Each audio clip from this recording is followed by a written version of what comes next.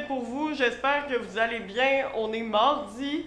Première des choses, ça va être à propos du chanteur de Rage Against the Machine. Ensuite, je vais vous parler de Rogers et du ministre François-Philippe Champagne qui se sont entretenus hier pour, troisième des choses, vous informer sur Johnny Depp Amber Heard parce que de la vengeance semble être dans l'air. Et pour terminer, Shinzo Abe, le premier ministre du Japon, décédé vendredi suite à son assassinat.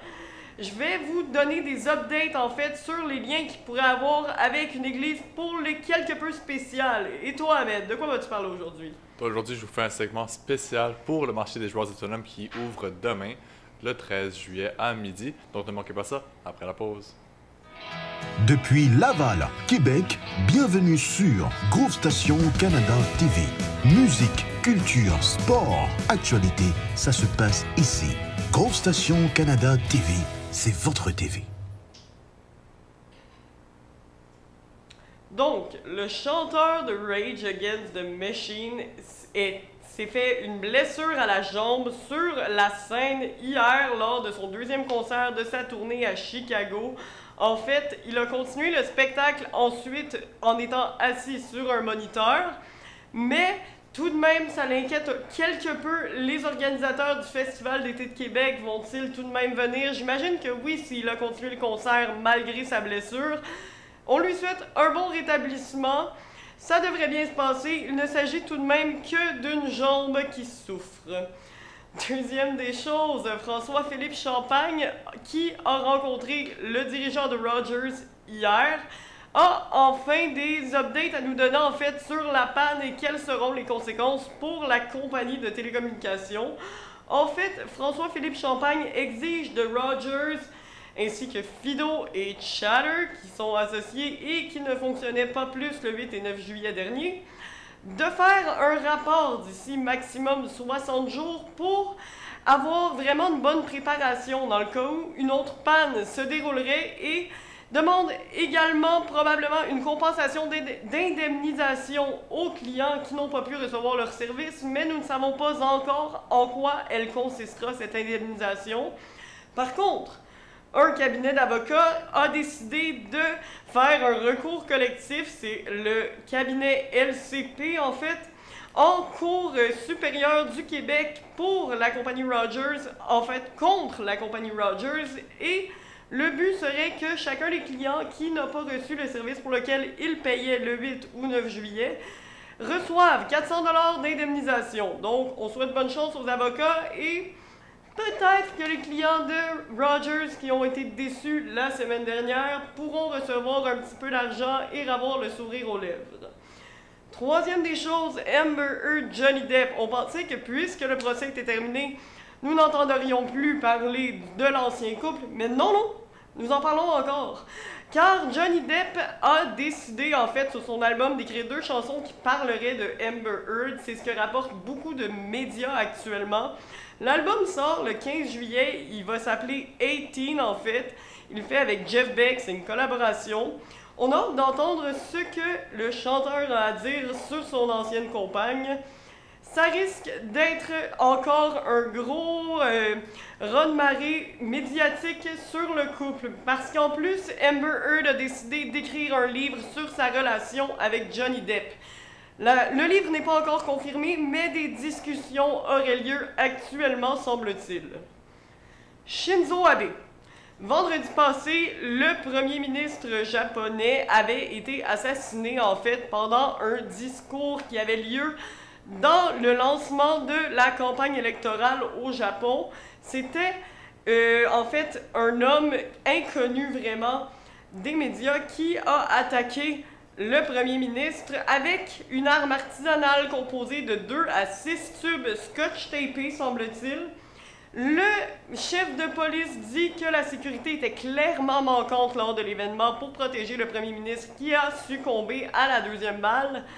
Par contre, ce qui nous intéresse vraiment actuellement, c'est que le coupable a affirmé, c'est Yamada Tetsuya, il a affirmé en fait que la raison de son acte était les liens que le premier ministre retiendrait avec une secte qui aurait ruiné la mère du coupable.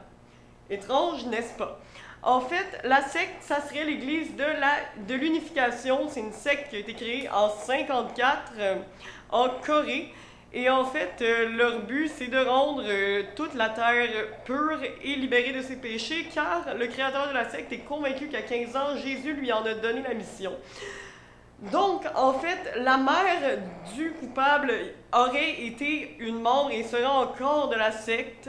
Cela a été confirmé par le grand leader, mais la première cible était justement ce grand leader avant que Monsieur Yamada se réavise et décide que les propos du premier ministre de félicitations envers des mariages de masse orchestrés par l'Église euh, le fâche assez pour justifier la mort de l'homme de 67 ans, donc euh, paix à son âme. C'est maintenant le segment des sports avec Ahmed. Merci beaucoup, Gab. Donc, euh, comme vous savez, demain, c'est la date limite pour le début des marchés des joueurs autonomes dans la Ligue nationale. Et on va faire un petit survol de ce qui s'est passé avec le Canadien dans la Ligue nationale et un petit euh, survol de ce qui pourrait arriver demain. Donc, euh, premièrement, le Canadien de Montréal qui a déjà commencé son magasinage en signant deux de ses joueurs de son équipe, donc Michael Pezzetta et Corey Schooneman, pour des contrats de 1 an à un volet de 750 000, donc vraiment très mineur. Ensuite, ils ont offert des offres qualificatives à Kirby Duck, Nate Schnarr, Joel Tisdale, Samuel Montembeau ainsi que Caden Primo. Euh, donc, des offres qualificatives, c'est que ça permet aux euh, joueurs de rester RFA, donc euh, avec restriction pendant le, marché des joueurs autonomes. Ils peuvent quand même recevoir des offres hostiles par d'autres équipes, mais au moins ça assure que les joueurs ne vont pas devenir sans compensation. Ensuite, dans la Ligue nationale, euh, quelques transactions, quelques signatures se sont faites. Euh, donc, la première transaction qui s'est produite hier, c'est entre les sénateurs d'Ottawa et les Maple Leafs de Toronto. Euh, donc, les sénateurs ils ont échangé leur gardien Matt Murray, ainsi qu'un choix de troisième tour, un choix de septième tour aux Leafs de Toronto contre des considérations futures. donc, on ne sait pas encore quelle considération serait le cas, autre que d'avoir un gardien médiocre. Mais les sénateurs d'Ottawa qui vont retenir 25% du salaire de Matt Murray, qui vient qui amène son cap hit à 4,69 millions pour les deux prochaines années. Donc, même à ce cap hit, je trouve que c'est une décision complètement stupide de la part des Maple Leafs de Toronto, avec un gardien qui a connu des statistiques complètement atroces des deux dernières saisons. Donc, est-ce que Jack Campbell aurait demandé plus que 4,69 millions? Euh, Est-ce qu'il y aurait un autre gardien dans, dans la Ligue nationale qui aurait pu obtenir moins que 4,6 millions? On aurait pu parler aussi de Vidéousso, qui aurait pu euh, être une bonne euh, transaction, ou Gorgiev. Donc, euh, ces deux-ci se sont fait échanger déjà, et ça laisse seulement au livre de Toronto Matt Murray. À savoir, est-ce que Matt Murray pourra revenir sur sa carrière ou pas? C'est à voir. Ensuite, Valérie Lesushkin qui continue sa carrière avec l'Avalanche du Colorado. Lui qui a été un excellent fit pour, pour l'Avalanche et l'Avalanche qui était un excellent fit pour lui. Euh, il continue sa carrière avec eux pour un, une période de 8 ans encore euh, pour une valeur de 6,125 millions par année. Donc pour le marqueur de 25 buts, il sera encore de retour avec les champions de la Coupe Stanley. Et par la suite, un autre joueur qui a décidé de rester avec son équipe, c'est Rickard Reichel, euh, qui signe un contrat de 6 ans, valeur de 5 millions par année les euh, Pingouins qui ont trouvé que Rickard Reichel était une, euh, en fait une bonne addition pour eux qui sont allés chercher au à limite euh, des transactions l'an dernier. Lui qui a connu 4 buts, 9 passes en 19 matchs. Il a raté tous les matchs quasiment de la première ronde contre les Rangers. Lui qui a joué seulement le match numéro 7. Donc, ça peut faire une grosse différence. Donc, c'est à voir avec la perte d'Evgeny Malkin. On va en parler tout à l'heure.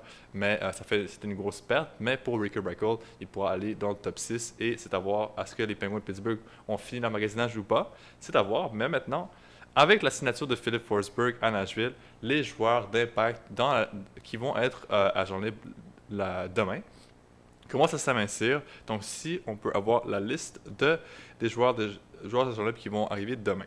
Donc, le premier, et non le moindre, euh, Johnny Gaudreau, 115 points l'an dernier, et son capital est de 6,5 millions. Euh, donc, on le sait, il va recevoir beaucoup plus que ça. On parle de peut-être 10 à 11 millions de dollars, peut-être un peu plus pour euh, Johnny Gaudreau. C'est sûr et certain que les Flames de Calgary l'ont perdu. Ou s'il est capable de signer avec les Flames, ce serait vraiment étonnant parce qu'on sait, ici vous ne voyez pas, c'est seulement les joueurs avec euh, en fait 100 compensation qui sont sur cette liste, mais Matthew Ketchuk n'est pas encore signé pour les Flames de Calgary. Donc pour ça, on a encore des nouvelles pour Matthew Ketchuk qui n'est pas encore signé. Ensuite, on a Nathan Kendry, qui lui part de l'avance de Colorado et c'est d'avoir à ce que ce serait un bon fit pour les Flames s'ils ne sont pas capables de signer Johnny Gaudreau ou même Mathieu Ketchuk. Ensuite, vous avez Claude Giroux, Patrice euh, Bergeron, André Burakovsky, David Perron, Ryan Strom, Andrew Kopp, Phil Kessel. Donc vraiment, il y a beaucoup de gros noms euh, qui vont être euh, joueurs autonomes cette année. et c'est d'avoir à ce que le Canadien serait serait vraiment encouragé à aller chercher un des joueurs. Moi, je trouve que pas. ce, serait, ce serait en fait euh, une mauvaise décision d'aller chercher un des joueurs parce qu'on a besoin de se rajeunir.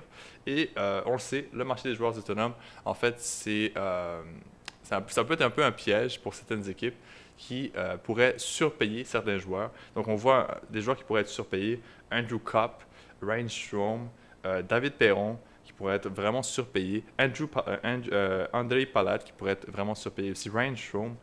donc, on voit qu'il y a plusieurs joueurs qui ont connu des bonnes euh, fin de saison en dernier, mais qui pourrait être surpayé cette saison lors des joueurs de Et un joueur vraiment surprenant, c'est John Klingberg, qui n'a pas été encore échangé par euh, les Stars de Dallas. Et les Stars de Dallas, qui savaient qu'ils allaient perdre John Klingberg cette année, il y avait deux ans pour l'échanger et n'ont rien fait avec. C'est à voir, est-ce que John Klingberg pourra recevoir le salaire qu'il voudrait avoir? Lui, il n'a pas connu une très très belle saison avec les Stars de Dallas l'an dernier. Euh, et ensuite, vous voyez, il y a des joueurs ici qui sont vraiment intéressants dans le bas du tableau. Vous avez Max Domi, Evan DeKeen, Riley Smith, Rem Pitlick, euh, Sonny Milano et Denton Heinen, ainsi que Frank Futrano. Donc, c'est vraiment le bas du tableau pour être des joueurs vraiment intéressants pour certaines équipes à bas prix. Euh, on sait que Max Domi, ça fait plusieurs équipes qui le changent, Evan DeKeen aussi, mais c'est des joueurs qui pourraient avoir de l'impact, ils ont du grit. Et un joueur qui le Canadien pourrait aller chercher. Moi, c'est le seul joueur dans cette vraiment euh, en fait, groupe de, de, joueurs autonomes que j'aimerais aller chercher, ce serait Sonny Milano. Sonny Milano, si vous voyez ses statistiques en ce moment, il a 34 points, seulement un capite de 1.7, donc je pense pas que le Canada, euh, qui va demander pour beaucoup, avec 34 points, il pourrait aller chercher peut-être un contrat à maximum 3 millions. Donc moi, je pense que ce serait une bonne addition pour le Canadien sur les trois premiers trios. Merci beaucoup d'avoir suivi ce segment euh, des news du bulletin de nouvelles. Donc n'hésitez pas à revenir demain pour le début des joueurs autonomes. C'était Mohamed Egab pour le bulletin de nouvelles. Passez une très belle fin de journée.